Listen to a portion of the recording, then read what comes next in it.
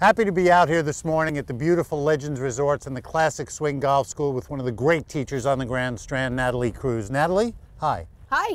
You have a fantastic tip, something that all golfers really need to work on. It has to do with alignment. Tell me about it. Yeah, aim and alignment is a fundamental that a lot of people struggle with. And the reason being is our body is not along our target line. So if I was playing darts, um, shooting pool, my body would be along my target line. In golf, my body is going to be to the side of the target line. So what we're going to do here, Mitch, I'm going to place a tee down, which is going to be about two to three feet ahead of my golf ball, and it's going to be along my target line. Out there on the course, go ahead and pick a divot, a different shade of grass, a leaf, for your spot alignment. And as you go ahead and walk into this golf ball, I want you to be focused on that tee rather than something 200 yards ahead of you. Great, so it keeps it right in front of me. I can relate to it. And as I get ready for the shot, I'm just gonna keep my eye right there.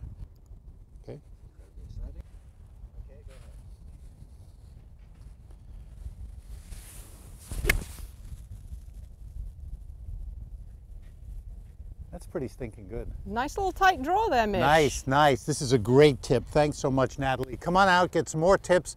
Work on your game here at Classic Swing Golf School with Natalie Cruse.